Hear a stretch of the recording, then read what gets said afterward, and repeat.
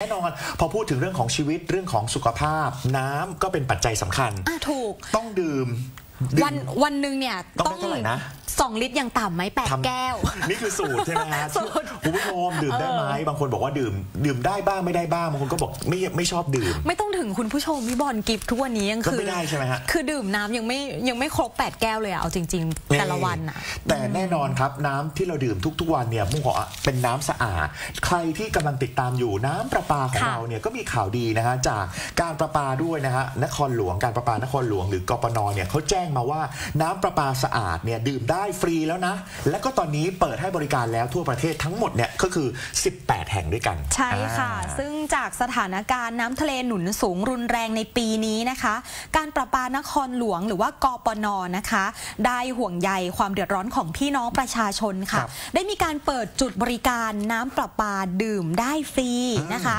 ที่สำนักประปาสาขาทั้ง 18 แห่งในพื้นที่ของกรุงเทพมหานครนนทบุรีแล้วก็สมุทรปราการนะคะครับเพื่อที่จะบรรเทาความเดือดร้อนของประชาชน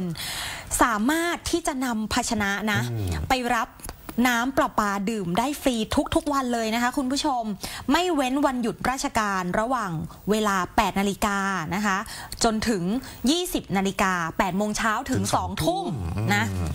ทุกวันเลยครับที่สำนักงานประปาสาขาทั้ง 18 สาขาใกล้บ้านท่านนะคะ ส่วนที่สำนักงานใหญ่การประปานครหลวง ก็มีการเปิดให้บริการเช่นเดียวกัน ในวันและเวลาราชการตั้งแต่ 8 โมงครึ่งจนถึง 4 โมงครึ่ง 4 โมงเย็นนะนะคะครับ โดยจะมีการตั้งจุดบริการเนี่ยเพื่อที่จะ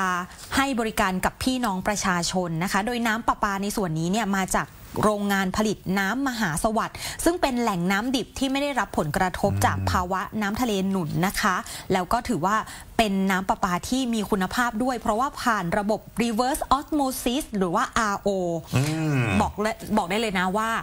สะอาด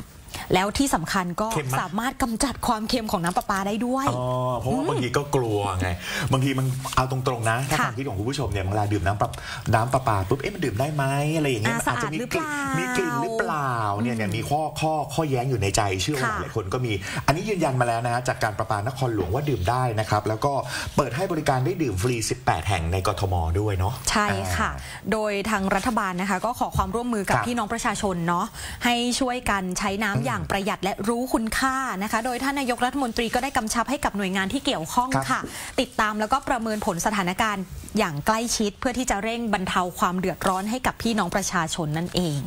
นะอืมอันนี้ก็ต้องบอกเลยว่าน้ำเนี่ยเป็นปัจจัยขั้นพื้นฐานครับที่ ทุกๆชีวิตเนี่ยจะต้องดื่มทุกๆวันนะคะ ถูกต้องรู้จักใช้ด้วยอย่างที่เราได้มีสัมภาษณ์ท่านผู้ใหญ่หลายท่านท่านนะฮะที่ให้ข้อมูลกับเราเรื่องราวของน้ำด้วยการบริหารจัดการน้ำต่างๆ ก็สำคัญคด้วยนะฮะแล้วก็รู้จักใช้น้ำอย่างประหยัดแล้วก็รู้คุณค่าด้วยนะฮะ